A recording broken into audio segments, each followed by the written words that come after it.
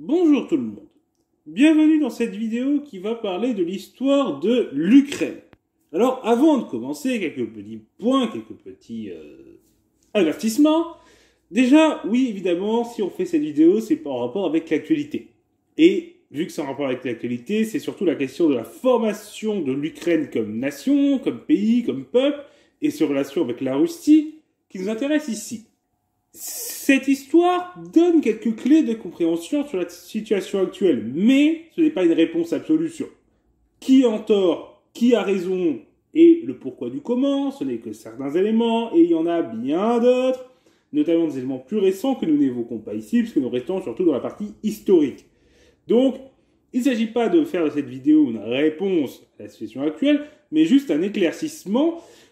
En fait, c'est vu la situation m'a donné envie de m'intéresser un peu à l'histoire de tout ça. Je me suis renseigné, j'ai écrit des choses et je vous partage ce que j'ai ce que j'ai appris. Maintenant que cela est posé, nous pouvons commencer. L'histoire de l'Ukraine, on en place le début souvent au 9e siècle. Alors évidemment, il y avait un territoire qui a une histoire plus ancienne, il y a des peuples qui étaient sur place, d'autres peuples qui sont arrivés, qui ont eux-mêmes leur histoire. Mais c'est le moment où on place historiquement le début de l'Ukraine. Lorsque Kiev, qui était aux mains des Khazars, passe aux mains des Varegs, qui sont un peuple viking. La ville est alors située dans un, carrefour commercial et rapidement ça va devenir le centre d'un état slave qui est nommé euh. Donc ça donne un peu un ancêtre du nom Russie, ou Ruthénie, qui est un autre nom qui était donné. Et cet état est à la fois l'ancêtre de l'Ukraine, de la Russie, de la Biélorussie. On peut voir là un peu comme l'empire de Charlemagne qui est une figure fondatrice, l'empire de, Charlemagne est vu comme un, ancêtre à la fois pour la France, mais aussi pour l'Allemagne. Et si Charlemagne est vu comme un roi de France, ben, la casse capitale, Aix-la-Chapelle, est en Allemagne. Donc on peut faire un peu un parallèle à ce niveau-là, euh, en termes de situation, avec évidemment de grandes différences. Mais en tout cas, ça fait que l'Empire russe est indirectement l'héritier de ce royaume-là, et c'est un des éléments qui est utilisé comme argument pour euh, considérer les Ukrainiens, mais également les Biélorusses, comme faisant partie de la population russe, et devront donc être intégrés à la Russie. Mais, comme on l'a vu pour le cas de Charlemagne, est-ce que la France va revendiquer Aix-la-Chapelle sous cette raison-là? Notamment avec la Volga, donc de la mer Baltique à la mer et du confluent de sur la carte actuellement un gros royaume dépassant largement les frontières de l'Ukraine actuelle. Cependant, ce vaste royaume est divisé entre plusieurs seigneurs locaux et des tensions vont éclater entre eux. Et au 12, notamment au XIIe siècle, et donc il est morcelé en plusieurs entités qui vont échouer à résister aux invasions de peuples turcs, les Tatars notamment, qui vont imposer leur domination sur la région.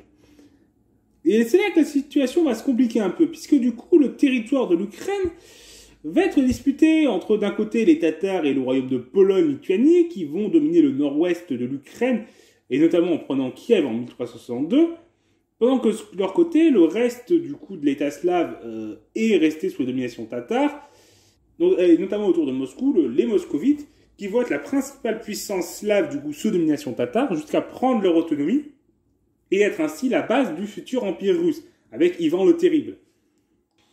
Donc du coup, revenir à la partie euh, du nord-ouest de l'Ukraine, sous euh, domination polonaise, mais la culture polonaise s'y étend, notamment avec le catholicisme, alors que l'Ukraine était plutôt orthodoxe jusqu'à présent, comme euh, la, Russie. alors la Pologne est sur le papier plutôt tolérante envers l'orthodoxie, mais favorise quand même clairement le catholicisme. Et une partie de la noblesse ukrainienne va s'y convertir pour un, par intérêt. Et de même, une partie du clergé orthodoxe va se rapprocher de Rome au point que le métropolite de Kiev et une partie du haut clergé euh, vont finalement, lors du concile de Brest en 1596, une partie du clergé orthodoxe de Kiev va rejoindre euh, Rome et donc réintégrer la religion catholique. En réaction à cette domination lituano-polonaise, on a au XVe siècle les Cossacks qui apparaissent sont des paysans rutènes orthodoxes qui refusent la servitude et l'assimilation aux Polonais catholiques. Ils sont tolérés et utilisés lors des conflits contre les Tatars, mais il y a des tensions qui se forment.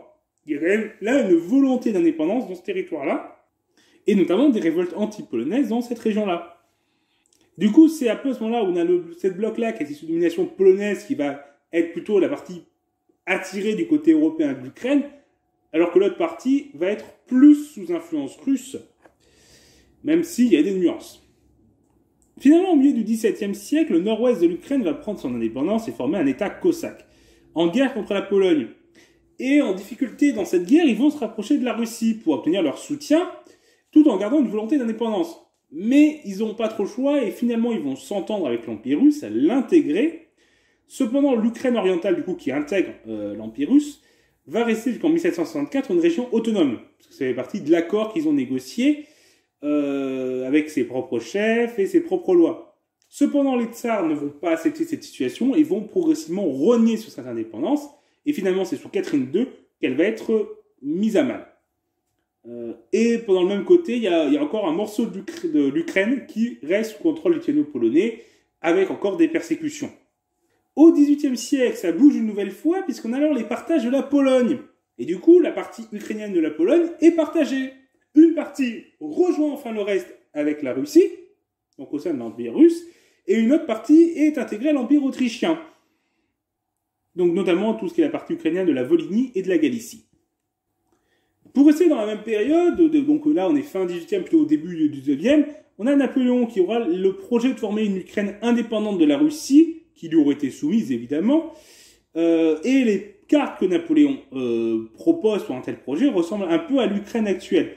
Donc là, il y a déjà bien une conscience qu'il existe ici une entité ukrainienne possible, alors dont, qui, évidemment, il y a des intérêts géopolitiques à sa création, enfin à cette volonté de création, mais on voit que cette entité-là a un sens.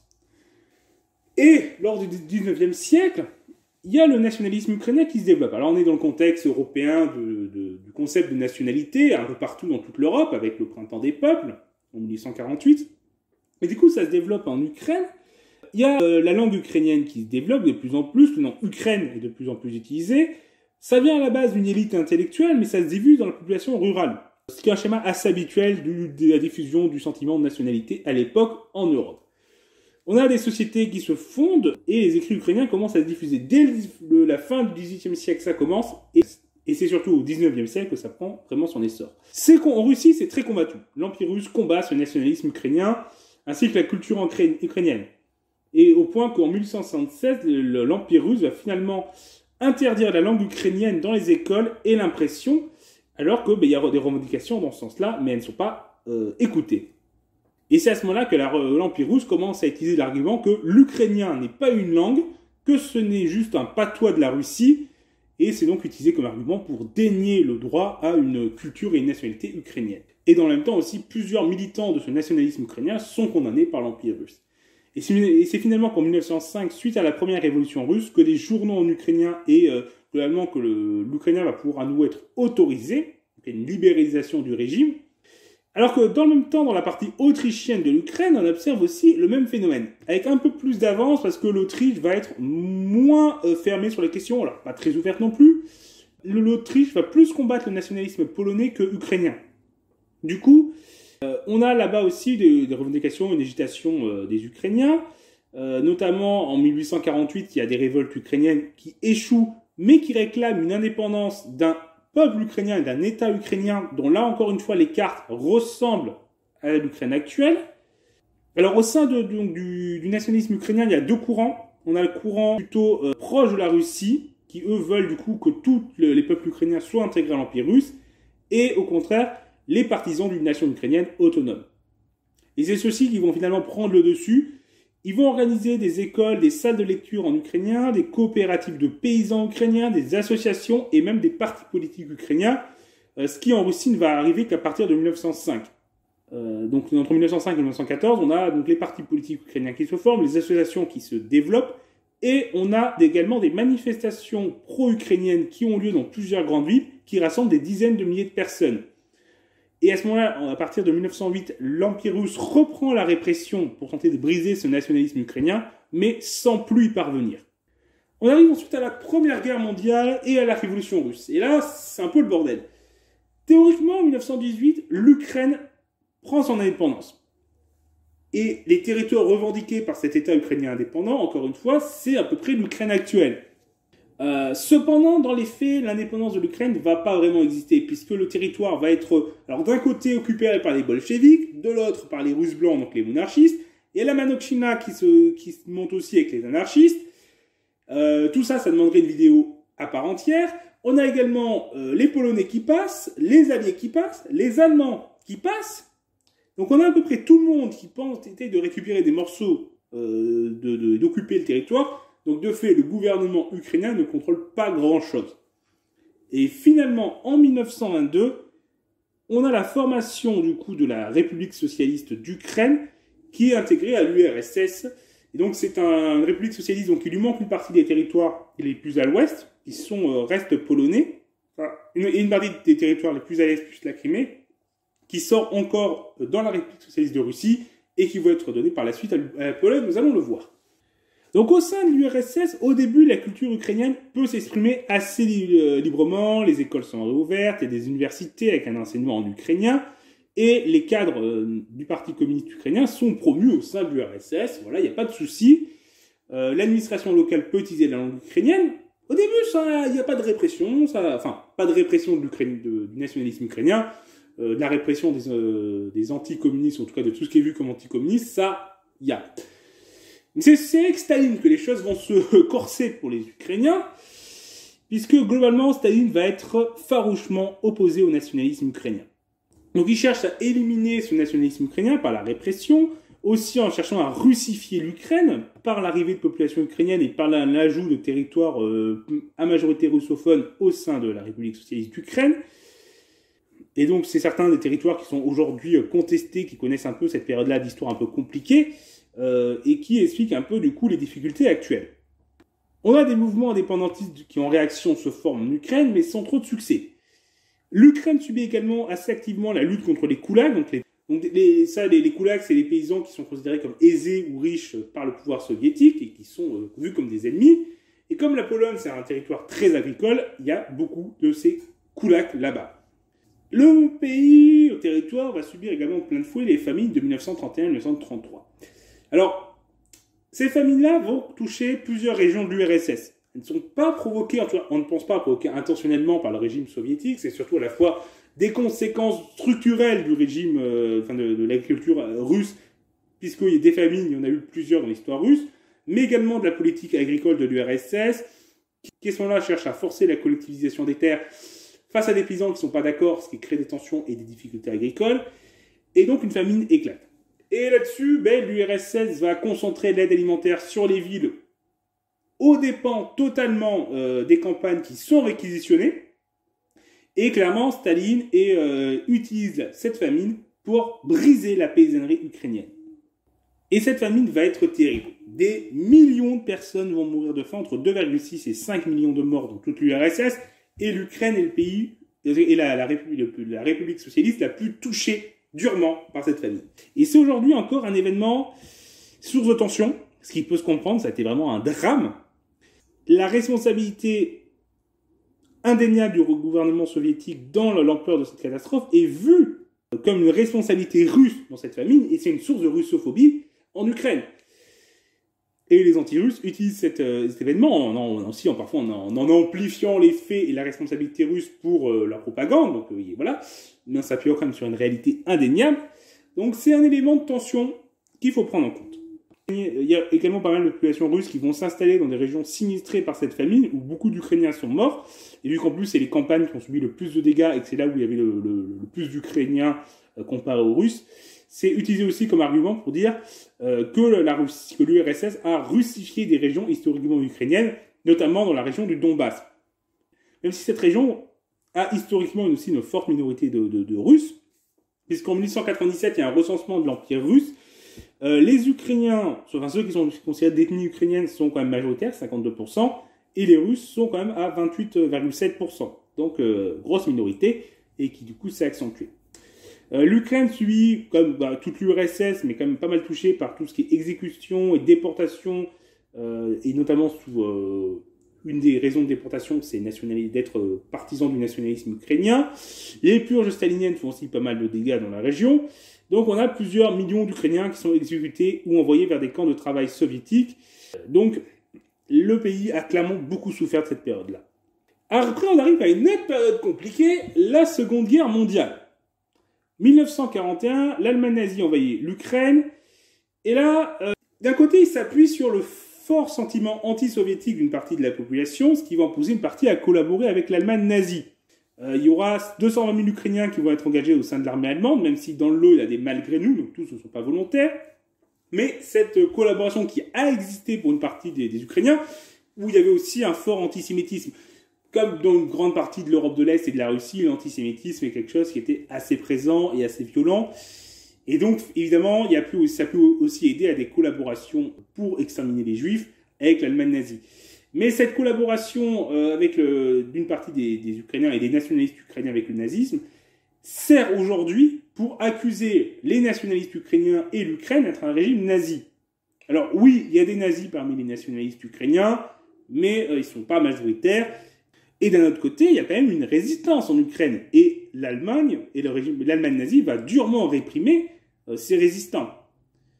Et au final, du coup, l'Ukraine a subi un lourd bilan euh, durant cette période-là, avec à peu près 8 millions de morts, dont 1,3 million de militaires. Donc le pays a été durement touché par cette période-là. Finalement, en 1944, l'Ukraine est libérée par l'armée rouge, même si elle doit faire face à une résistance anti-soviétique jusqu'en 1954, notamment dans la partie ouest du pays. Et à ce moment-là, l'Ukraine va récupérer aussi du coup les territoires ukrainiens euh, les plus à l'ouest, qui étaient euh, rattachés à la Pologne après la Première Guerre mondiale, et vont être finalement réintégrés à l'Ukraine. Euh, ce qui fait que c'est à ce moment-là que la frontière ouest actuelle de l'Ukraine est à peu près définitive. donc 1954, oui, la fin de la guerre civile, enfin de la résistance armée en, en Ukraine, c'est aussi le moment où Nikita Khrushchev, qui a passé sa jeunesse en Ukraine, qui est, maintenant le premier secrétaire du Parti communiste de l'Union soviétique, transfère la péninsule de Crimée à la République soviétique d'Ukraine, alors qu'avant elle était en Russie.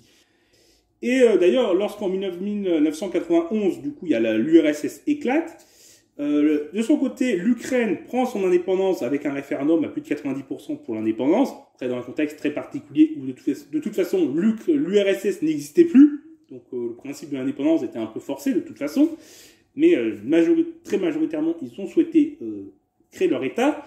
De son côté, la Crimée n'a pas tout de suite été en Ukraine. Au début, c'était un État indépendant qui n'a pas souhaité être en Russie, qui a souhaité être indépendant, qui a négocié avec l'Ukraine et en 1992, elle intègre l'Ukraine avec un statut particulier d'une certaine autonomie. Et l'Ukraine est un territoire où il y a encore quand même de fortes minorités, euh, une forte population russe, également une population tatar. Donc c'est un endroit où, il y a plusieurs influences culturelles aussi, mais un peu en fait comme toute l'Ukraine. Euh, toute l'Ukraine est un territoire sous multiples influences. du coup, en 1992, l'Ukraine prend la forme qu'on lui a connue pendant longtemps, jusqu'en 2014 avec l'annexion de la Crimée à la Russie. Et c'est un territoire partagé entre différentes influences culturelles. Une influence russe, influence polonaise, influence autrichienne, influence tatare, un peu d'influence allemande. Au niveau religieux, il y a d'un côté les catholiques, d'un côté les orthodoxes, plusieurs langues, langue tatare, langue russe, langue ukrainienne, même si une majorité d'Ukrainiens de, sont bilingues russe-ukrainien. Mais c'est un territoire divers, avec des jeunes qui sont beaucoup plus tournés vers l'Europe, d'autres plus tournés vers la Russie. C'est un pays qui est récent, oui, mais au terme de, sur cet aspect-là de pays récent, c'est loin d'être le seul pays qui est récent. Euh, la Belgique est un pays récent. Euh, beaucoup de pays de l'Est sont des pays récents. Les pays d'Amérique du Sud sont des pays récents. Et pourtant, c'est des pays qui existent. Et comme on l'a vu, le sentiment d'une existence d'un État et d'un peuple ukrainien commence à dater depuis plus de 200 ans. Et donc, l'Ukraine existe, la langue ukrainienne existe. En tout cas, voilà, on a fait le tour de l'histoire ukrainienne jusqu'en 1992. Je n'aborde pas les, qui se passait après parce que il s'est passé plein de choses après. Il y a eu des, plusieurs moments de tension entre, euh, notamment euh, entre le fait est-ce que l'Ukraine devait plus tourner vers l'Europe ou plus vers la Russie? Plusieurs moments, il y a eu des tensions à ce niveau-là jusqu'à la, crise de 2013-2014. Et ensuite, depuis 2014, ça fait 8 ans que la situation est tendue avec des rebondissements, des changements qui demanderaient aussi à être abordés. Mais on est vraiment dans du très récent et je préfère rester dans la partie plus ancienne, historique, qui me semble intéressante à connaître, euh, que, bah voilà, que moins de monde ont pu connaître de leur vivant, voire pas du tout pour les parties plus anciennes. Et voilà, qui, sur une chaîne d'histoire nous intéresse en premier lieu. même si voilà la situation est très complexe et euh, je vous invite à aller voir les sources que j'ai mis en description pour en savoir plus. Euh, et je ne serai pas plus long sur cette vidéo. J'espère que ça vous intéressait. Si c'est le cas, n'hésitez pas à partager cette vidéo. Vous pouvez aussi faire des compléments en commentaire, mais s'il vous plaît, je vous demande de pas débattre de la situation actuelle, de dire est-ce que la, Russie a raison ou pas? Je vous demande de pas débattre de ça en commentaire. Je vous demande de rester sur la partie historique. Et je vous invite également à vous abonner pour ne pas rater nos prochaines vidéos. Au revoir tout le monde